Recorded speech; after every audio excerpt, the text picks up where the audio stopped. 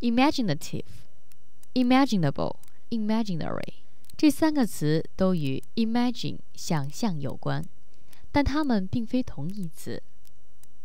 imaginative 是富于想象力的，强调想象的能力。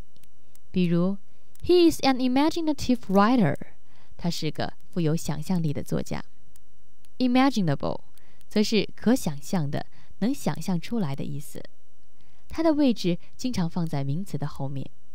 例如，This is the best solution imaginable。